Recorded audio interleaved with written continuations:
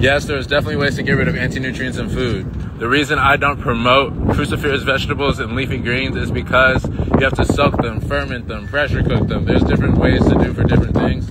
But a lot of people don't have the time to ferment their food. They barely have time to make a meal, you know what I mean? So I don't promote it because the masses don't usually have the time to get rid of the anti-nutrients. And I don't think the juice is worth the squeeze because the soil is very poor the nutrient density of our crops is very poor compared to like even the 70s. Like our the nutritional value of crops has gone down 50% since the 70s. So like I don't think I'm finna be getting rid of all these anti-nutrients taking four hours to soak and ferment something so I can get whatever little nutrients I was finna get from the food. So I don't be promoting cruciferous vegetables and leafy greens for that reason.